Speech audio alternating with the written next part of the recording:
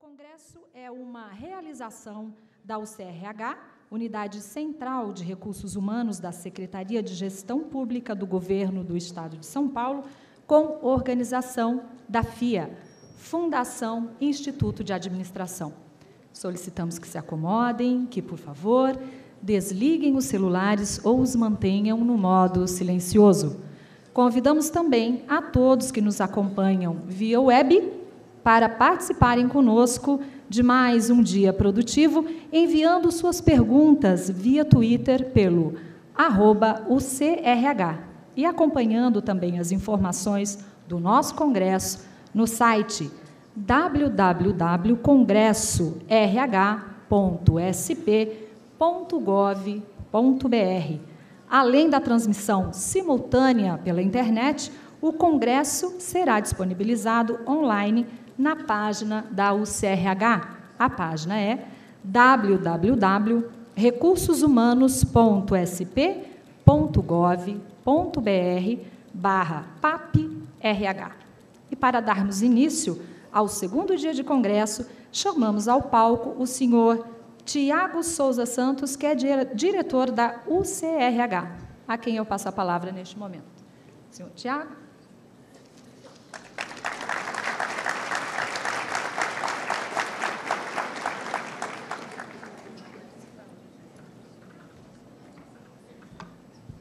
Bom dia a todos. Estou aqui apenas para agradecer mais uma vez a presença de todos vocês que estão aqui hoje presentes, estiveram aqui ontem. Espero que tenham tido um dia agradável e que tenha sido uma elevação da potência de cada um, como disse o professor Clóvis, estar presente aqui, que hoje isso se repita e amanhã também, e todas as outras vezes que nós pudermos fazer encontros como este, que, do meu ponto de vista, eu acho que é um ganho muito grande para nós da Secretaria de Gestão Pública e acredito para todos vocês e para o governo do Estado de São Paulo, porque trabalhando um pouco mais a gestão de pessoas, eu acredito que nós conseguiremos cada vez mais é, ampliar o desempenho da administração pública para atender cada vez melhor o cidadão. Na verdade, o meu bom dia aqui veio também para lembrar que esse congresso, assim como outras atividades do nosso programa de aperfeiçoamento de pessoal, não é uma construção exclusiva da Secretaria de Gestão Pública. Né? Fomos nós encabeçamos, talvez, né? fomos o, a carne, né? de, o, de canhão, mas formamos um grupo para poder discutir esse programa e eu queria agradecer especialmente algumas pessoas que eu vou relatar o nome aqui que eu acho que não podemos esquecer de forma alguma que eles dedicaram tempo, dedicaram reflexões, dedicaram paciência para fazer tudo isso acontecer. E pessoas de diversas secretarias que se prontificaram a participar do projeto. Né? A gente, o ano passado, quando teve o primeiro congresso, essas pessoas vieram até nós e falaram assim: como a gente pode ajudar a fazer esse trabalho? Eu falei, vamos trabalhar, sentar junto e botar a mão na massa. E essas pessoas eu vou citar aqui em ordem alfabética, não é ordem de prioridade, ok? Ana Paula Garcia, do Centro Estadual de Educação Tecnológica Paula Souza. Isabela Ruiz, da Secretaria de Emprego e Relações do Trabalho.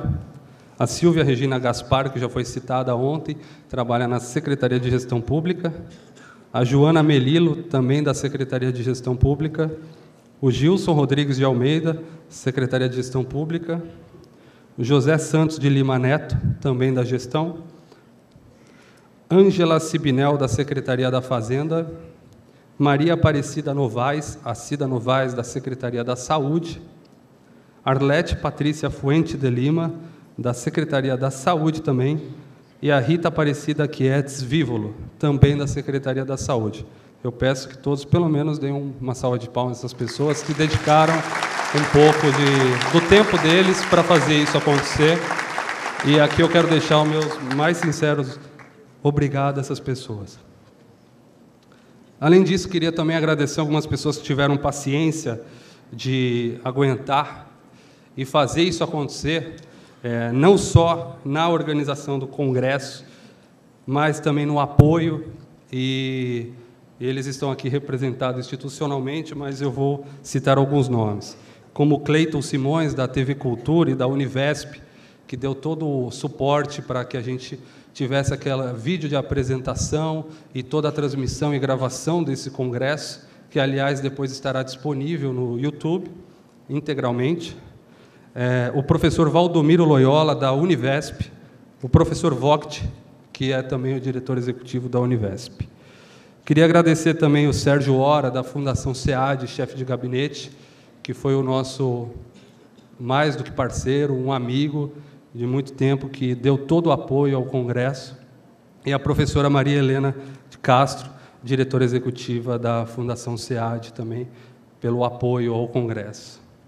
Ao senhor Jair Zenzuki, da Prodesp, que também foi um grande apoiador, um grande homem que nos ajudou aí a, a realizar esse congresso.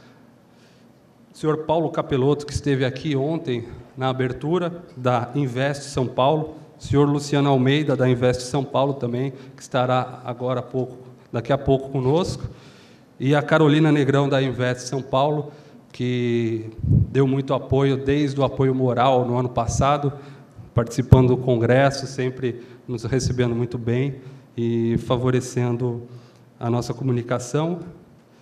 E o senhor Augusto Fernandes, da AFPESP, né, que foi o nosso contato para a gente poder é, compor esse grande time de apoiadores, além do, é, do Donizete Moretti, que esteve aqui ontem, da BRH São Paulo, que eu acho que graças a todas essas pessoas que esse congresso pôde ter a dimensão que nós temos hoje. Né? O ano passado fomos apenas um dia e já consideramos um grande sucesso, um grande evento, e agora nós estamos em três dias, um, um desafio maior ainda, e com muito mais pessoas participando.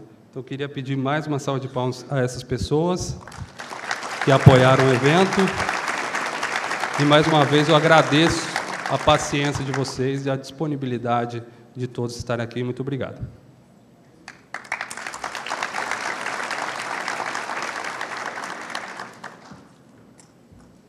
Obrigada, senhor Tiago, pelas informações. São lembranças importantes porque nenhum trabalho, nenhum grande trabalho realmente é realizado. Né? Ah, muitas pessoas são envolvidas é, em toda a programação e direcionamento do evento. Então, ótimas lembranças, parabéns a todos. E nós vamos dando sequência no nosso evento, seguindo o caderno de programação que consta no material de cada um de vocês. Nós chamamos ao palco para mediar o painel a senhora Silvia Anete Naipe, diretora adjunta administrativa e financeira da Fundação SEAD, a quem eu vou passar a palavra. O painel será os recursos humanos como fator de vantagem competitiva do Estado de São Paulo.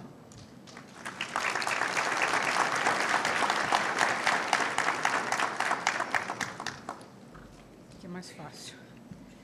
É, obrigada a todos, bom dia.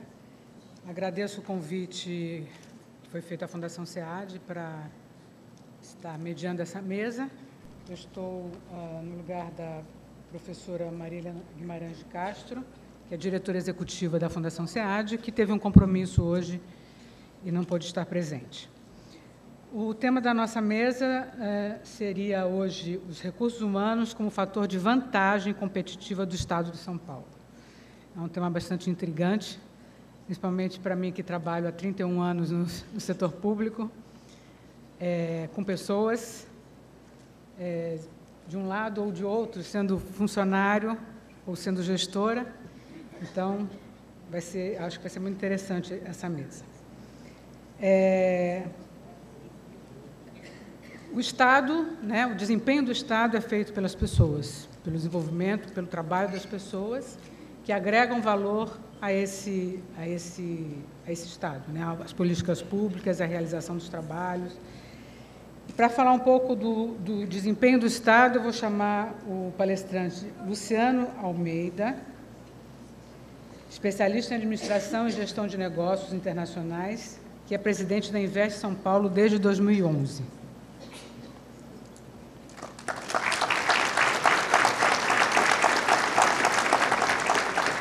Ele vai falar dos programas para transformar no Estado mais competitivo e a relação é, disso com uh, os recursos humanos, o papel dos recursos humanos na superação desses problemas.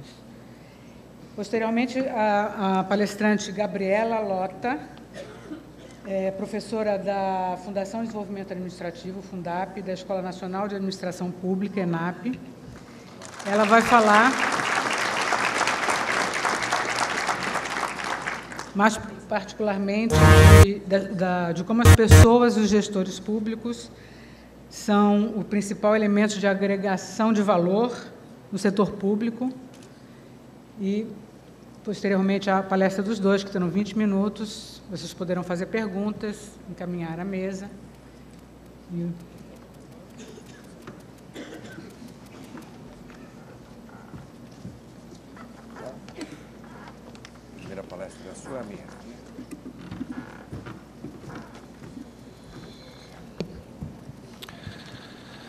Bom dia a todos. É, prazer estar aqui. Obrigado, Tiago, pela oportunidade de vir a um evento dessa magnitude. No primeiro momento, acho até achei estranho o convite, né, de falar. A Invest São Paulo está falando aqui sobre um tema de relevância, é, mas eu acho que no decorrer da apresentação eu vou conseguir mostrar um pouquinho aos senhores, né, é, a ideia aqui é o case Invest São Paulo é, como fator de competitividade e a lógica da criação dele no sentido de ser realmente um instrumento um pouco diferente da lógica normal do sistema público como nós conhecemos. Então, eu vou primeiro, eu não sei se já foi passado, mas queria passar um vídeo da Invest São Paulo, aí eu faço uma apresentação para os senhores. Vamos lá?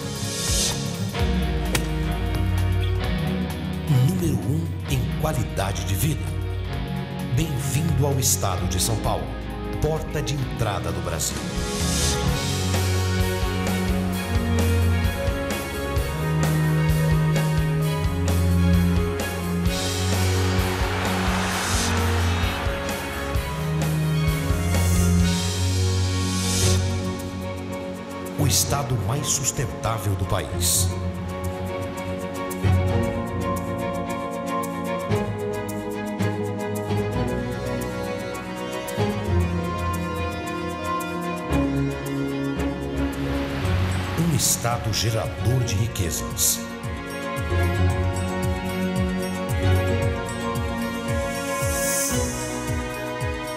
maior descoberta de reservas de petróleo e gás natural do mundo nos últimos anos.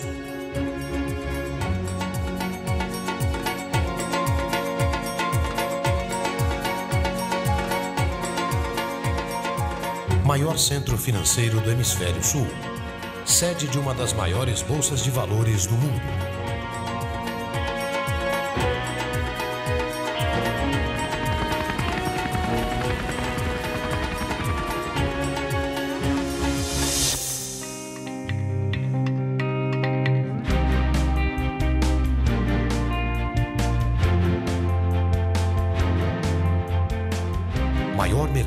consumidor e de serviços do Brasil. Destino para os estrangeiros e seus investimentos.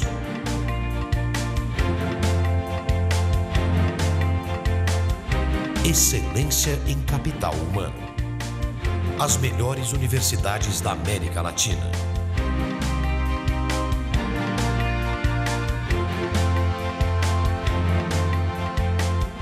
Estado brasileiro que mais investe em pesquisa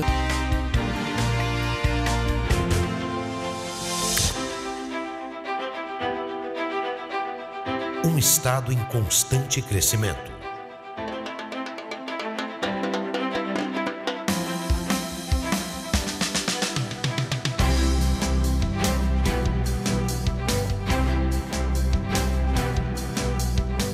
Melhor infraestrutura e logística do Brasil.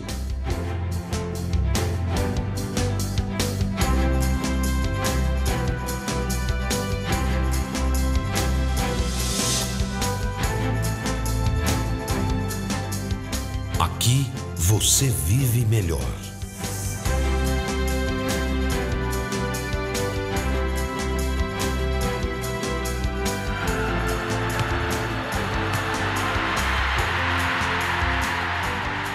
Faça parte do estado número um do Brasil.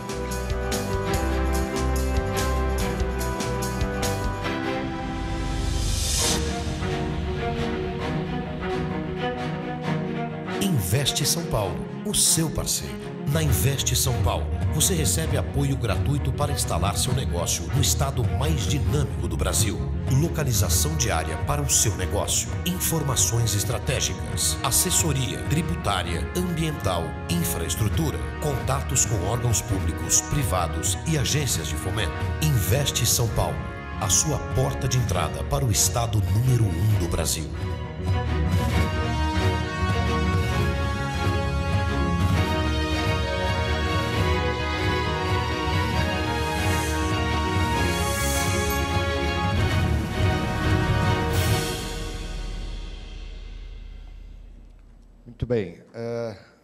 Esse vídeo é uma produção, obviamente, para divulgar o Brasil, para o mundo afora, né, o Estado de São Paulo, e por que, que nós somos realmente o Estado número um desse país.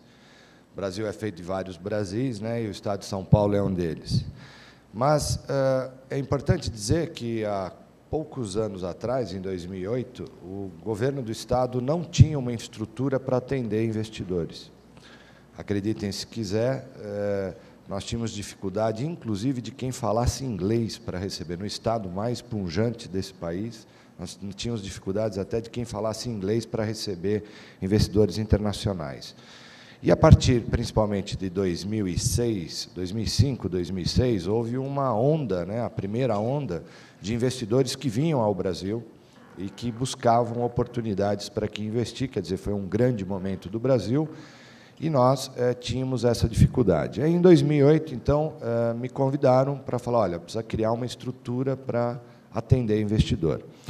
E eu disse o seguinte, olha, nós temos um problema, porque a língua que o setor privado fala é inglês e a língua que o setor público fala é japonês. Né? É, quando se, é, é, essa relação ela não é tão tranquila como parece principalmente no, no, que se diz respeito à velocidade das ações. Né?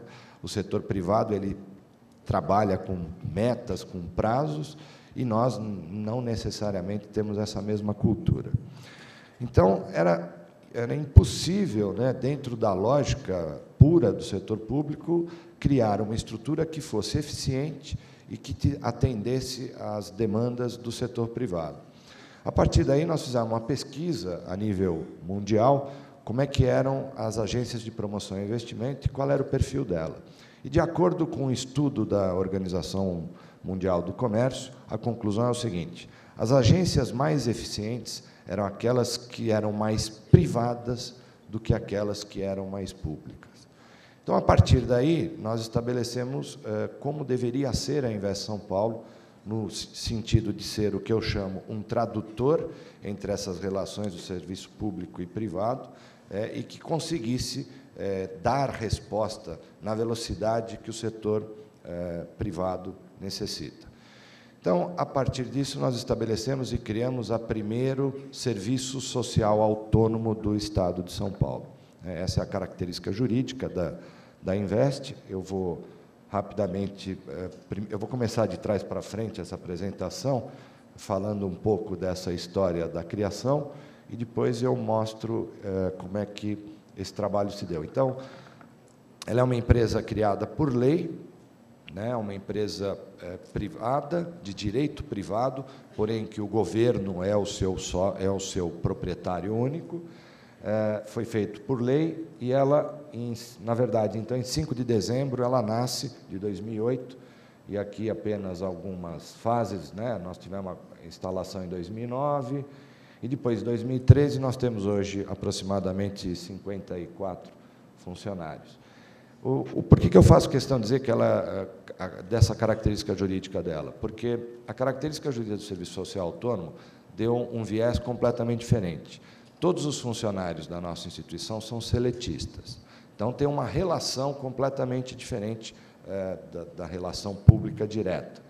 E, e, ela tem, e ela trabalha por vinculação hoje por convênio, mas nós estamos, desde 2009, para migrar para o sistema de contrato é, de gestão ou contrato de resultados.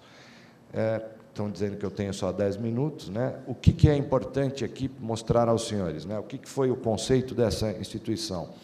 Ela tem hoje uma agilidade operacional é, para poder dar resposta rápida. Eu dou, posso dar milhões de exemplos que, por exemplo, nós temos um sistema de prospecção é, que nós viajamos o mundo inteiro divulgando São Paulo. E, por exemplo, se eu fosse de um, é, um funcionário público, eu precisaria autorização do governador para poder viajar. E só isso me demoraria aí às vezes três, quatro meses. E eu no sistema do, da Invest São Paulo eu tenho é, condições de viajar amanhã, se for necessário. O nosso conselho é formado por oito secretários de Estado e sete empresários.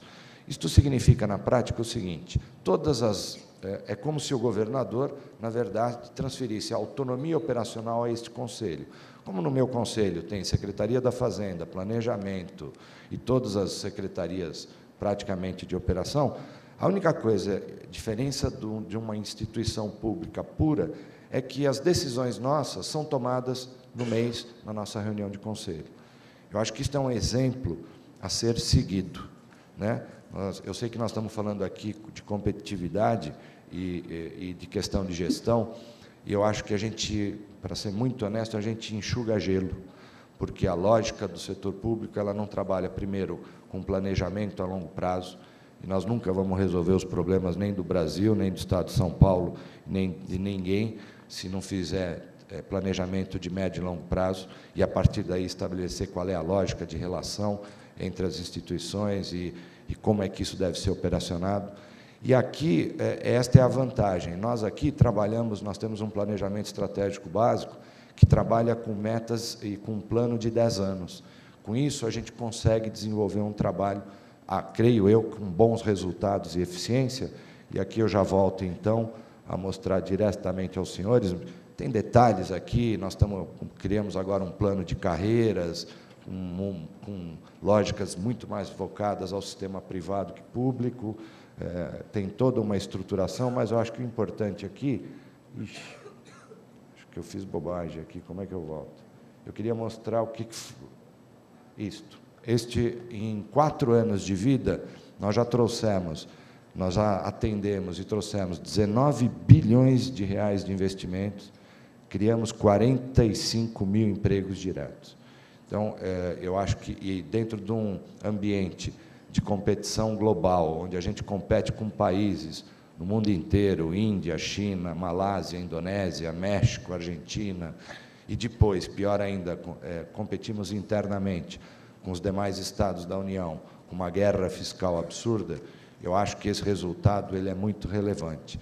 Então, eu vou deixar aqui, para não perder muito tempo, é, para nós conversarmos um pouco sobre a, a lógica é, do que, que, a gente pode contribuir através de uma discussão mais eficiente, mas é, o que eu quero deixar de mensagem é que este modelo que foi instituído, que é um modelo que pode virar uma referência para várias outras instituições, nem todas podem migrar para um modelo desse por questões estratégicas ou não, mas a maioria das instituições, eu diria, institutos de pesquisa, outras é, é, é, é estruturas de apoio do governo, deveriam pensar num, num novo modelo de administração, onde ele possa ser mais eficiente e onde ele possa, aí de fato, fazer a diferença para, como fator de competitividade no Estado de São Paulo. Muito obrigado.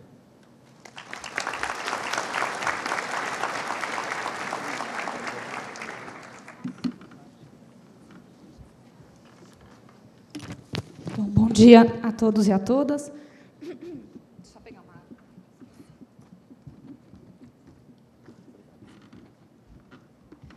É, queria agradecer primeiro imensamente ao convite, por estar aqui conversando com vocês sobre gestão de pessoas, que na verdade não é especificamente o meu tema gestão de pessoas, eu tenho discutido muito burocracia no setor público, trabalho com formação de servidores há alguns anos e agora estou coordenando o núcleo de estudos da burocracia lá na Universidade Federal do ABC, onde eu sou professora. E eu trouxe uma discussão, na verdade, um pouco mais conceitual para fazer com vocês, é, sobre alguns aspectos a respeito da, dos servidores, do trabalho dos burocratas que impactam em pensarmos um novo modelo de gestão de pessoas.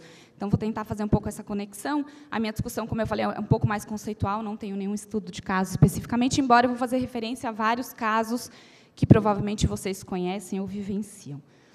É, Para a gente começar aqui um pouco a nossa conversa, acho que queria só trazer alguns pressupostos que são básicos e óbvios quando a gente pensa em gestão de pessoas, mas que vão trazer uma complexificação um pouco para uma discussão que eu queria fazer sobre a autonomia do servidor.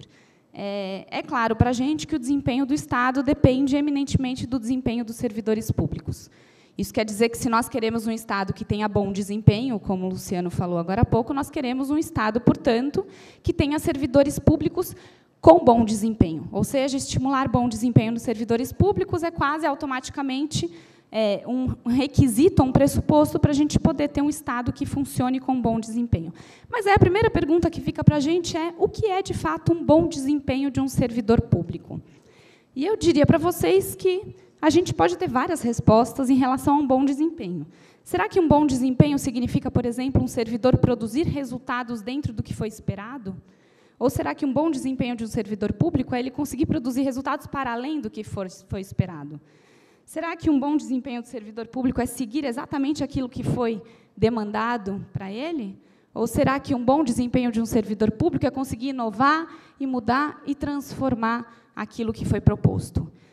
Eu acho que quando a gente está discutindo gestão de pessoas, as nossas respostas tendem a falar que nós devemos sempre ir para o caminho da inovação, da criatividade, do melhor resultado esperado. Mas eu diria que para vocês, para a gente tomar um pouco de cuidado com isso, porque até para essa pergunta do que é um bom desempenho, a resposta é depende. Depende por quê? Depende porque nós temos servidores em áreas da organização muito diferentes, desempenhando serviços diferentes e, portanto, tendo que entregar resultados diferentes. O que eu quero dizer com isso é que, não necessariamente, as pessoas fazerem coisas exatamente como foi previsto é ruim.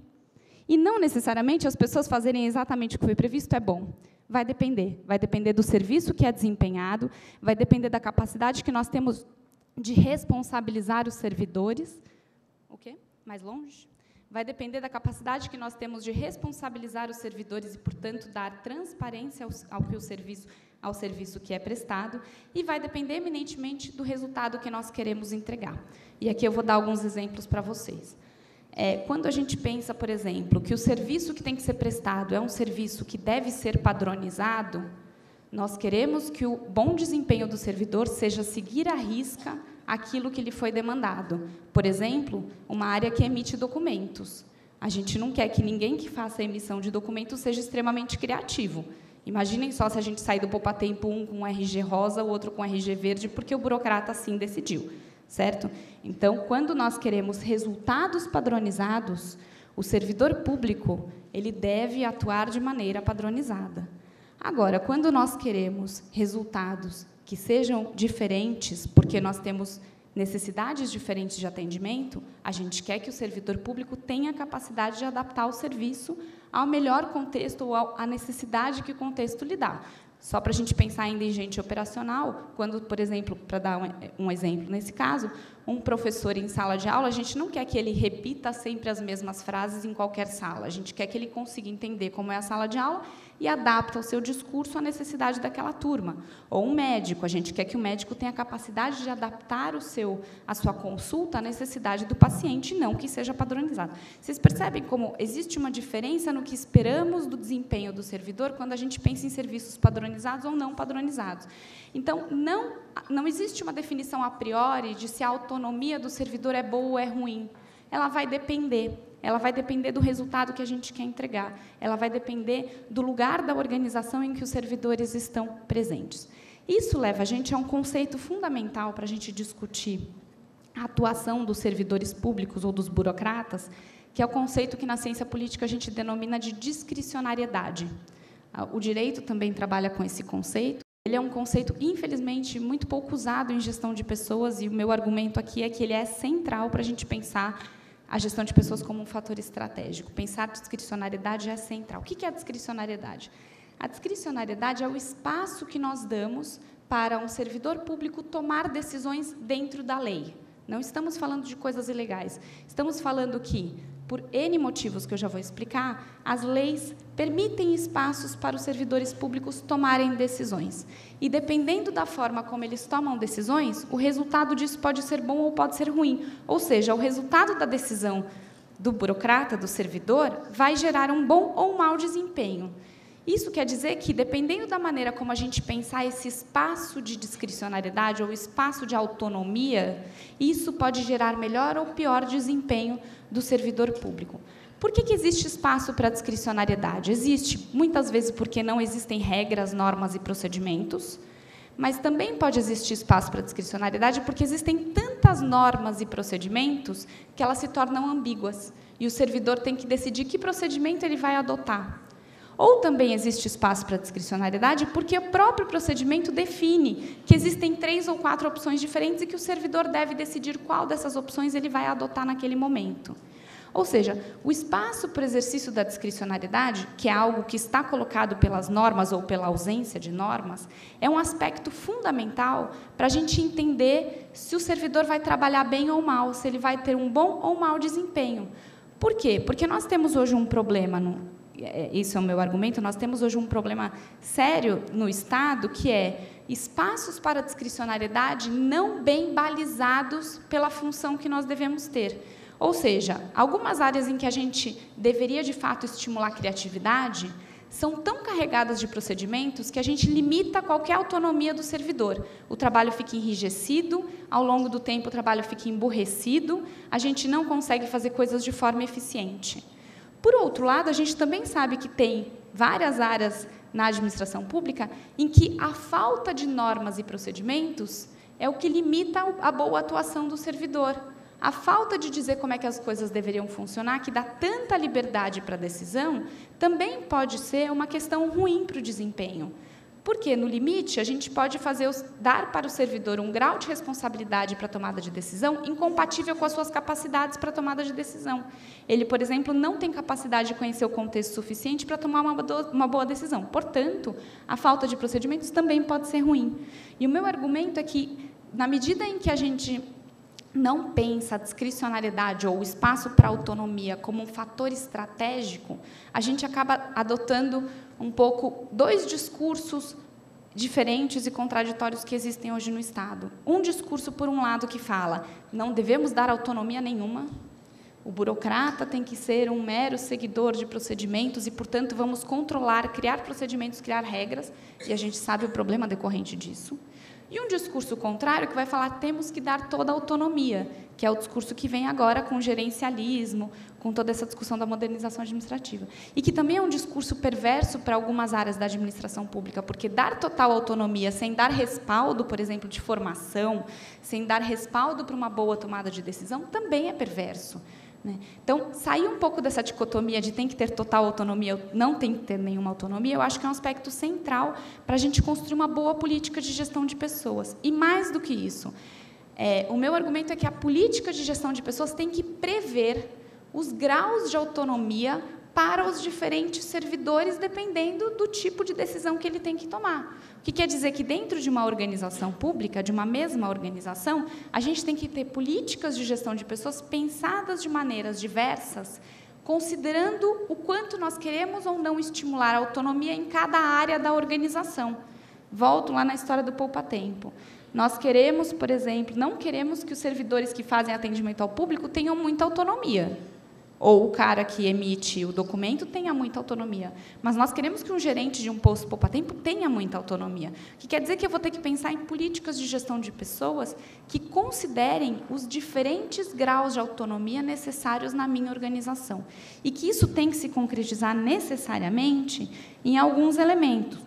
Como, por exemplo, a gente tem que conseguir pensar em políticas de gestão de pessoas diferentes no que diz respeito a contratações. Contratação é um elemento central para impactar positivo ou negativamente na maneira como os, os, servidores vão exercer autonomia. Por quê? Por exemplo, se eu quero contratar pessoas para assumir cargos estratégicos na organização, o que significa que a pessoa vai ter muita autonomia e vai ter que tomar decisões muito complexas, eu tenho que prever um sistema de concurso que garanta que não só os conhecimentos básicos são contemplados na hora da contratação. E aí alguns de vocês devem estar pensando, mas que tipo de concurso a gente pode fazer? Claro que pelo nosso direito administrativo a gente não tem tanta flexibilidade de fazer concursos que seria o ideal, por exemplo, é, fazendo dinâmicas de grupo, fazendo entrevistas e coisas do tipo. Mas, tem, mas existem alguns pequenos mecanismos em processos de concurso que já podem mudar radicalmente o tipo de pessoas que a gente contrata. Por exemplo, vou, é, um exemplo que aconteceu recentemente, o concurso para o cargo de especialista em gestão é, pública, especialista em políticas públicas e gestão governamental do governo federal, aquela carreira de gestores, que tem um salário altíssimo, eles mudaram de um ano para o outro o peso que eles davam para é, para formação desculpa é, concurso os concursos tradicionalmente esse concurso tradicionalmente dava muito peso para a formação acadêmica. E em um determinado ano eles decidiram mudar os pesos e dar mais é, dar mais força para a experiência profissional Antes, quando o peso era na formação acadêmica, a média das pessoas, a média etária das pessoas que entravam eram de 25 anos. A maioria das pessoas era o primeiro emprego, ou seja, concurseiro. Gente que saiu da universidade, fez mestrado, às vezes engatou um doutorado e ficou estudando para concurso sem ter experiência prévia. Quando eles mudaram o peso para a experiência profissional, a média etária saiu de 25 para subir para aproximadamente 35 anos. Ou seja, você já tem uma mudança no perfil de pessoas que entram. E, obviamente, podemos pressupor que pessoas que já têm experiências prévias, na hora de tomada de decisão, eles vão ter um outro critério para tomada de decisão. Não digo se é melhor ou pior, eu vou dizer depende para o que, que nós queremos alocar essas pessoas. Então, aqui está a coisa do depende que eu queria dizer para vocês. Nós temos que pensar em sistemas de concurso que prevejam qual é a autonomia que nós queremos dar para esse servidor depois de contratado. E, portanto, o concurso tem que dar mais peso ou menos peso para o que for importante depois na hora de to da tomada de decisão desse servidor. A mesma coisa a gente tem que pensar para carreiras. Então, desenhar carreiras de maneira adequada e compatível com o que nós esperamos desse servidor em termos de autonomia e tomada de decisão. Por exemplo, se nós queremos que as pessoas tenham capacidade, isso num Estado como nós temos hoje, um Estado muito mais é, integrado, intersetorial, que pensa em problemas mais complexos, nós, nós precisamos ter carreiras em que as pessoas, de fato, venham com essa formação mais complexa. Por exemplo, carreiras em que as pessoas possam transitar em diferentes secretarias ao longo da sua carreira. Ficar preso em uma única secretaria, numa lógica setorial, isso não funciona com esse novo Estado é, que nós estamos pensando. Né? É, Pensar em desenvolvimento econômico e social, por exemplo, significa a gente pensar em uma série de aspectos diferentes em que o servidor que passa a vida inteira dele dentro de uma única secretaria dificilmente consegue entender a complexidade do sistema. Então, se nós queremos pessoas que tomem decisões complexas de uma maneira muito mais integrada, a gente tem que pensar carreiras que permitam transições desse tipo, como, por exemplo, são as carreiras dos gestores, dos executivos públicos, no caso do Estado de São Paulo, são carreiras que pensam esse trânsito né, que pensam que as pessoas podem assumir funções diferentes. Se é importante termos servidores desse tipo, temos que pensar carreiras desse tipo. Caso contrário, se é importante ter servidores altamente especializados em um tema, porque eles vão trabalhar naquilo, eles têm que ser os melhores naquilo, nós temos que ter concursos específicos para aquilo, ou seja, é, temos que ter formas diferentes ou mecanismos diferentes adequados ao grau de autonomia que nós queremos dar para esse servidor. Um outro elemento importante de gestão de pessoas que impacta nessa questão da autonomia é a capacitação. Se nós queremos, por exemplo, estimular áreas da organização em que os servidores tenham muita autonomia e uma capacidade de tomada de decisão que seja complexa, a gente tem que dar processos de capacitação que provavelmente não são em sala de aula. Provavelmente são ações como mentoring, coaching ou outros tipos de ações que ajudem um desenvolvimento da pessoa dentro dessa autonomia, flexibilidade é, e desenvolvimento que queremos dar. Agora, o contrário, se queremos ter pessoas que executem de forma padronizada, e tem áreas que têm que ter isso, nós temos que dar capacitação de ensinar, de, capacitações voltadas a ensinar procedimentos. Ou seja, as nossas políticas de capacitação têm que estar desenhadas para o grau de autonomia que nós queremos estimular ou não nos servidores públicos. Também temos que pensar na questão da autonomia quando a gente pensa no gerenciamento. Então, por exemplo, uma questão que está muito é, em moda agora na gestão de pessoas é a questão de estímulo do desempenho através de incentivo financeiro ou de progressão na carreira, enfim, acordo de metas, acordo de resultados, etc. O tipo de meta e o tipo de resultado e o tipo de estímulo que a gente vai dar tem que ser compatíveis com a autonomia que nós queremos que nós queremos estimular. Eu lembro de uma analogia que a Cibele Francese Sibeli, hoje secretária de Junta de Planejamento, sempre faz relacionado a isso, que é a gente tem que pensar, pensa, pensamos que somos uma fábrica de bolos. E a gente quer que as pessoas façam bolos. Tem duas, duas formas diferentes. Uma é eu chegar e falar, todo mundo vai ter que seguir essa receita. E você vai ganhar um prêmio se você seguir a receita ao pé da letra. Outra coisa é dizer, eu vou premiar o melhor bolo e ninguém tem que seguir receita nenhuma. Certo? As duas coisas, elas precisam existir na gestão pública. Porque nós temos que ter, nós temos serviços que têm que seguir receita e nós temos serviços que não têm que seguir receita. O que quer dizer que nós temos que ter prêmios e incentivos compatíveis a ter que seguir receita ou não ter que seguir receita. O que não dá é para a gente querer estimular as pessoas a fazer bolos inovadores e criativos e gostosos e diferentes e falar, mas eu só vou te premiar se você seguir essa receita. Né? Ou seja, a gente tem que ter formas de incentivo, pode ser vinculada a dinheiro ou não, pode ser vinculada a remuneração ou não, mas temos que ter formas de incentivo e acordos de meta compatíveis com a autonomia que a gente quer estimular nas pessoas. Isso tem que vir casado, né? Senão a gente fica fazendo políticas de gestão de pessoas que querem estimular a autonomia, mas estamos, mas estamos apenas incentivando de fato quem segue regra, ou ao contrário, a gente quer estimular é, quem segue regra, mas a gente dá autonomia e não diz qual é a regra. Né? A gente tem que ter essas coisas acordadas. A mesma coisa a gente tem que pensar nos sistemas de avaliação de desempenho. Os sistemas de avaliação de desempenho também têm que nascer desse olhar para a autonomia que nós queremos estimular. Quer dizer que nós, se eu sou um servidor que tem que seguir critérios padronizados, eu tenho que ser avaliado pelos critérios padronizados que eu segui. Se eu sou um servidor que tenho que tomar decisões autônomas, eu tenho que ter um sistema de avaliação do meu desempenho compatível com esse grau de autonomia que me foi dado. Né? Caso contrário, volta, a gente está estimulando o, contrário que a gente deveria, é, do, que deve, do que a gente espera como resultados na organização. Bom, só para finalizar, então, na verdade, é, o que eu queria trazer para vocês é que pensar uma política de gestão de pessoas, e isso é, é central para a administração pública e é um dos, hoje um dos grandes limites da administração pública brasileira. Nós não temos políticas de gestão de pessoas significa pensar políticas de gestão de pessoas que contemplem a complexidade das organizações e dos serviços que nós temos. Ou seja, políticas de gestão de pessoas que não são iguais para todo mundo em termos de tipos de formas de concurso, formas de, de progressão na carreira, tipos de carreira, formas é, de avaliação de desempenho, incentivos, capacitação, etc. Que contemplem as diversidades, considerando como elemento fundamental qual é a autonomia que nós queremos, ou qual é a discricionalidade que nós queremos ou não estimular nos nossos servidores. Saindo um pouco da, da lógica de que isso é bom ou é ruim a priori. A autonomia e a discricionalidade vão ser boas ou ruins, dependendo do resultado que a gente quer.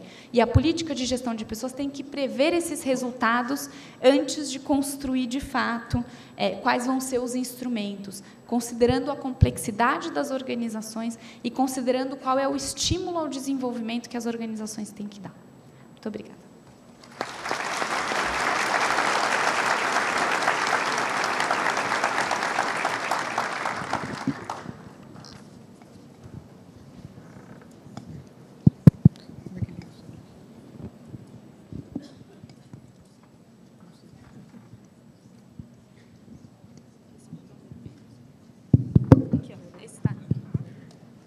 Bom, vou fazer um curso para ligar o microfone, né?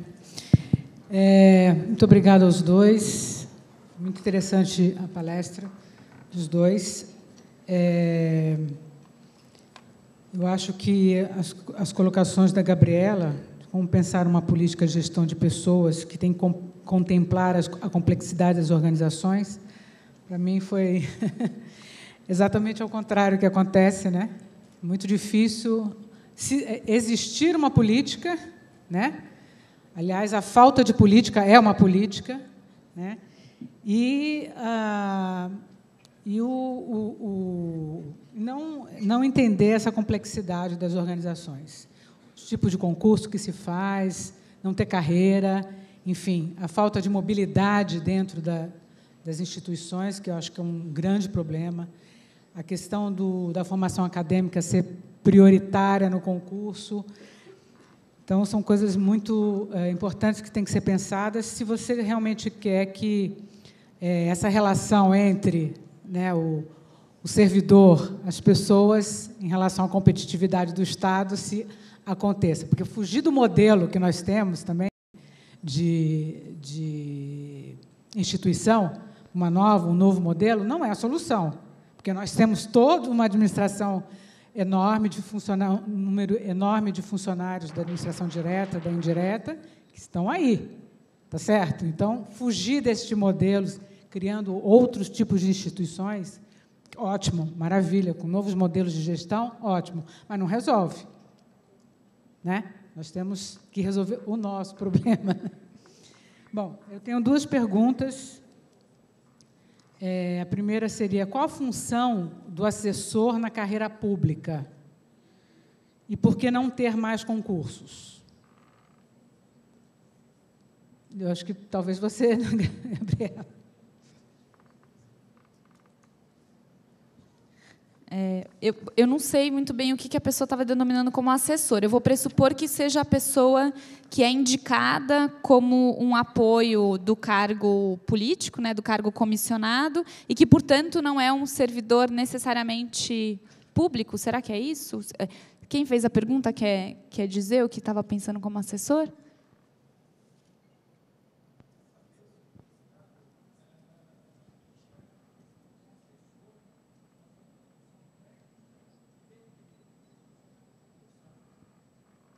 Ok, entendi. Obrigada. É, é o cargo de confiança, né? É, é, o que eu vou responder, na verdade, eu imagino que mais de 90% da nossa audiência seja de funcionários públicos. Eu, funcionários, eu sou funcionária pública federal também, é, mas provavelmente alguns de vocês não vão gostar muito do que, do que eu vou falar, mas eu vou partir de uma questão conceitual.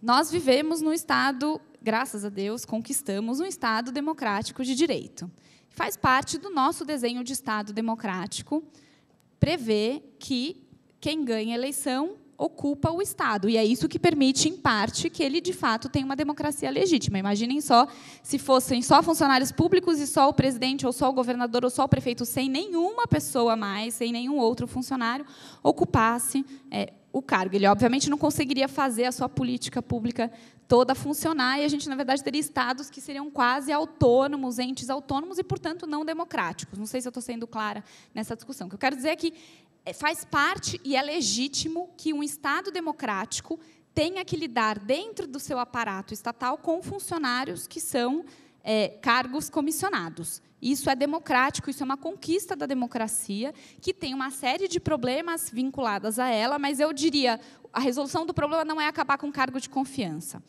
É, eu acho que a questão fundamental aí está numa discussão que, na verdade, Weber já dizia disso, que é a diferença entre o político e o técnico. Qual tipo de conhecimento que o político traz, qual tipo de conhecimento que o técnico traz. Então, voltando ao pressuposto, digo, não temos que acabar com cargos políticos dentro do Estado. Acho que isso é um, é um, ganho democrático e temos que fazer isso acontecer de fato. A questão é como é que a gente garante é, esse trânsito mais é, mais assertivo entre o político e o técnico. E eu tenho a sensação, não sei se eu consigo responder completamente a questão, mas é, uma, uma hipótese que eu tenho é que uma forma de conseguir fazer esse trânsito funcionar melhor é investir em carreiras, em carreiras estratégicas. As carreiras estratégicas, que é a carreira do dirigente público, foi pensada para isso.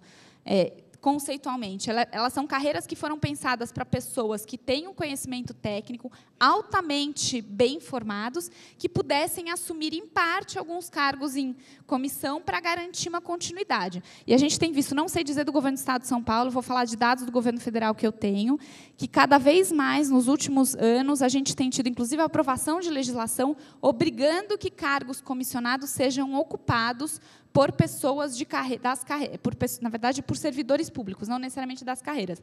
Hoje, por exemplo, a gente tem, né, no governo federal, o DAS 4 tem 50% obrigatoriamente, a lei, se eu não me engano, 50% obrigatoriamente tem que ser ocupados por, é, por pessoas concursadas, e o DS 3 e 2, 75%, que é uma maneira de garantir esse trânsito funcionando de uma um pouco mais, enfim, é, harmônico. Né? Mas é, é um conflito que faz parte do nosso Estado e eu acho que sempre vai fazer parte. Eu acho que eu não faço parte dessa discussão, mas eu preciso pôr um pouco de fogo nessa lenha aqui. Acho que a discussão não é essa. Não é se o cara é comissionado, se ele é técnico. Quem tem que assumir aquela função é quem é o mais eficiente. Tanto faz se ele é carreirista, se ele não é, se ele é concursado, não é. Precisa ter gente boa e eficiente que saiba assumir aquela função. Nós temos que sair desse discurso. Isso aqui não é mais uma discussão aqui, eu sou, eu tenho estabilidade de emprego, não tenho. Eu, eu fui chamado aqui para discutir como é que a gente é eficiente e competitivo. Não, me falar assim que eu temo novos modelos de instituição, que isto talvez não seja correto, é porque a gente não sai da caixinha e não pensa a longo prazo.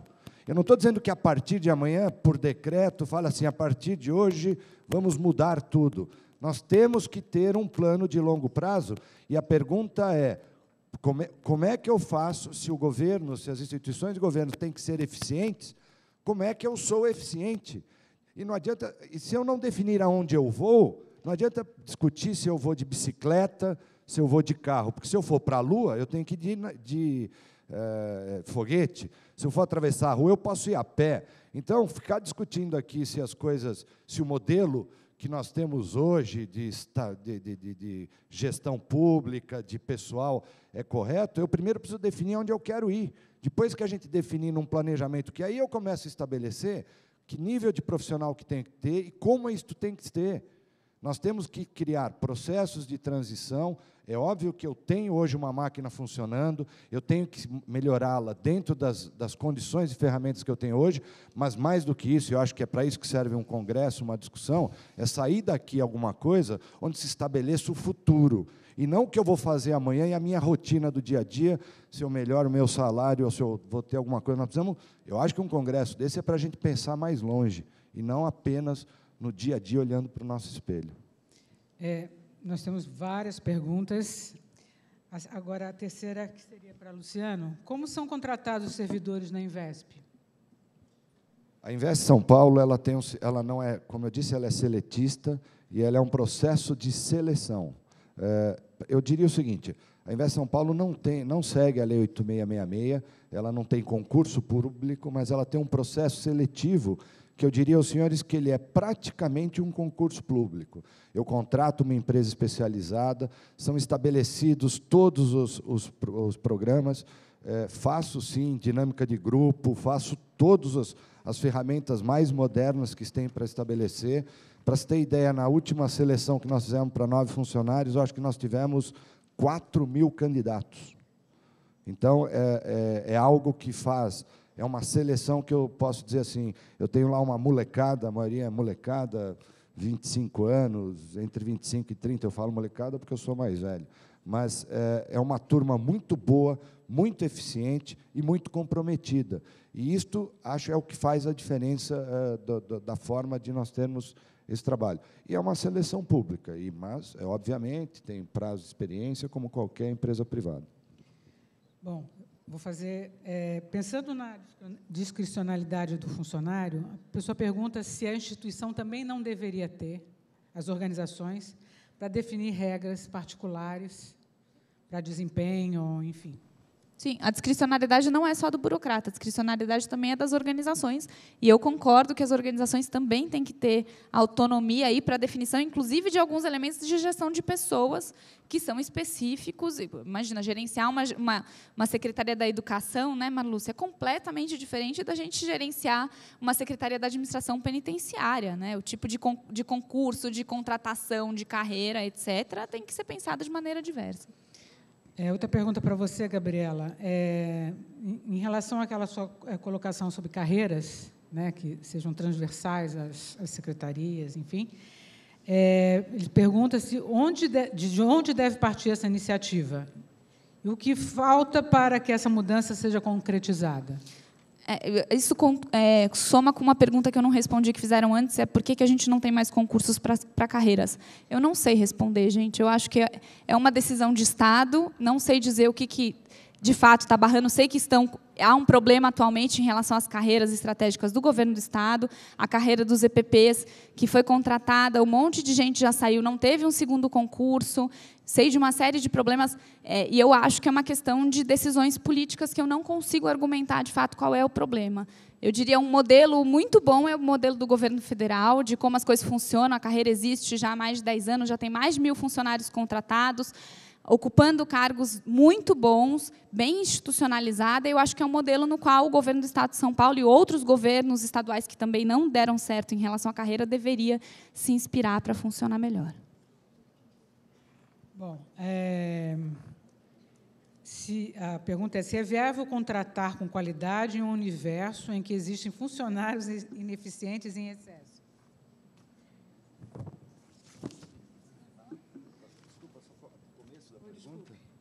Comecinho. É viável contratar com qualidade em um universo em que existem funcionários ineficientes em excesso? é, é, Como vai contratar se o contratante é ineficiente? Olha, eu, eu, não sei se eu sou idealista ou não, mas eu acho que a pergunta que a gente tem que fazer primeiro é a seguinte: qual é a função do Estado, né? E aí nós todos, quando a gente todo, todos nós pensarmos da mesma forma, estabelecer uma missão, né? que é, se é essa, que é servir a sociedade, que eu acho que deveria ser, né? e às vezes eu vejo, é, na verdade, é, o, é, é, a sociedade servindo ao Estado e não o Estado servindo à sociedade, essa sensação que eu tenho. É, eu vi aqui a discussão também sobre questão de, regular, de criar re, procedimentos e normas para os funcionários, e eu acho que, e aí, com isso, ele pode ser mais eficiente ou não, porque ele sabe o que ele tem que fazer, eu nunca vi, né? É, quando o The Economist fez uma análise dos estados brasileiros, ele falou o seguinte: o Estado de São Paulo é o número um em tudo, menos numa coisa: marcos regulatórios e tributação. E eu falei: por que a gente não tem incentivo fiscal? Falou: não, porque vocês são o Estado que mais muda a legislação e normas do país. Gente, na, nós tivemos uma, um grupo de trabalho para discutir competitividade da economia paulista, que falou de inovação, desburocratização, formação de mão de obra, infraestrutura, logística e questões tributárias. Sabe o que, que os empresários pediram para nós? Olha, parem de mudar a regra do jogo.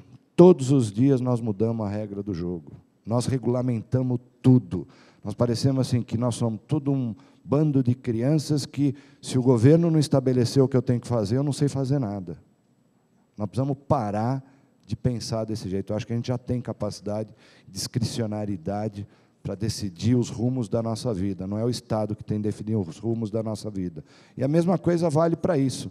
Você está perguntando uh, se eu tenho tanta gente ineficiente. Ué, por que, que eu tenho tanta gente ineficiente? Porque eu tenho um modelo errado. Temos que repensar o modelo. Não estou dizendo que é assim, a partir de amanhã vamos mudar o modelo de contratação do sistema público. Mas vamos fazer um plano de 20 anos, porque para um Estado 20 anos é nada, onde a gente possa, em 20 anos, mudar o modelo e deixar de ter tanta gente ineficiente pendurada no sistema público. Bom, é, eu só tenho tempo para mais uma pergunta. Tem algumas perguntas aqui bem específicas das secretarias, uma de segurança pública, outra da carreira da avaliação do médico, do servidor, é, e outra da Secretaria de Educação. A orientação é que a gente entregue essas perguntas para os palestrantes, que, que enviarão as respostas por e-mail, quando tiver o e-mail, porque não, tem. Mas, enfim. Mas acho que nas saídas podem, vocês podem é, perguntar.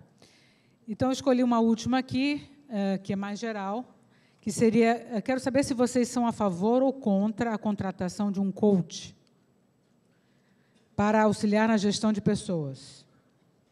É, como conseguir contratar esse, esse profissional? Eu sou muito favorável. É, claro que não acho que é para organização, para todos os servidores da organização.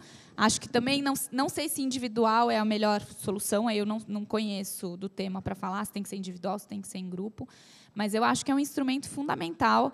É, é, toda aquela ideia que provavelmente já deve ter aparecido aqui e está sendo muito reforçada na gestão de pessoas, da gestão por competências, a gente sabe hoje que a gestão por competências ela é baseada não só em desenvolvimento de conhecimento, que a gente consegue fazer em sala de aula, estudando, lendo, mas também de habilidades e atitudes. E habilidades e atitudes, dificilmente em sala de aula a gente dá conta de contemplar. E para boa parte das habilidades e atitudes, um acompanhamento de um coach, de, de coaching, consegue consegue pelo menos identificar qual é o problema para definir qual é a melhor estratégia. Então, eu, de fato, sou favorável. Super difícil fazer contratação disso na, na, área, na área pública. Tenho visto algumas experiências que têm feito, ou contratação via organizações que têm flexibilidade de contratação, do tipo fundações, escolas de governo, etc., ou contratação de consultoria com todo o processo complexo que que não faz parte da nossa discussão aqui, mas que vocês conhecem da 8666. Então, não é fácil de contratar, mas eu acho que é um aspecto fundamental, sim, para a gestão de pessoas. Eu, eu só vou fazer um comentário rápido, dizer o seguinte, eu acho que muitos outros problemas mais graves que esse na nossa relação, que esse pode ser importante ou não, mas não é a nossa prioridade. Senão a gente só vai agregar mais um custo nessa máquina pública absurda que nós já somos. Obrigado.